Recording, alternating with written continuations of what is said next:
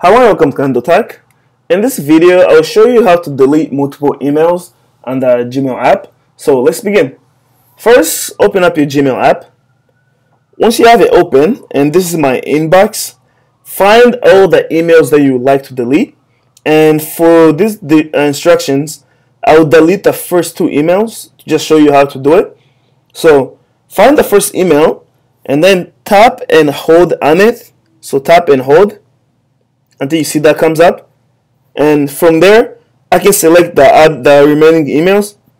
So say if I select that and that. As you can see, I'm just tapping on any other emails that I would like to delete. And that will select them. And the emails that I've selected have like a little check mark on it. And it's keeping count. If you can see on the upper left corner, it's keeping count of how many emails I've selected. Currently, I have four selected. If I want to delete these emails, look on the upper right corner. Do you see the little trash can to the left of the envelope? Tap on that.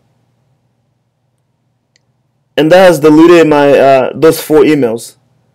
And that's how you delete multiple emails. If you have any other questions or comments, please leave them in the comment section below.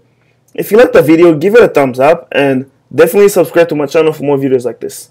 Thank you for watching.